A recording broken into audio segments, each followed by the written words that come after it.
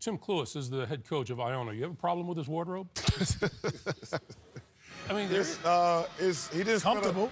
he got that free probably, and uh, the only the only cool thing about it uh, is an Al Jordan brand, but he didn't spend a lot of money on his wardrobe. Well, his whole assistants, the whole staff is, is rocking the, Ah, I the see. sweatsuit. But, you like a- think about- but I, I never understood. Let me. I never understood why a coach is wearing a suit and tie. I never understood that anyway. When I was, I was like, why is he wearing a coat tie? they're the dressiest people in the arena. For what reason? He's got to be more active. He's got to be animated. So I actually like the fact that he's wearing a But suit. he not. But they not playing though. I can see if they were playing. But he's into the game. My coaches were always into the game. But but your coach Tark, wore a suit and tie. I didn't Well, understand Tark- it. My coach, I love him. You know, he couldn't dress.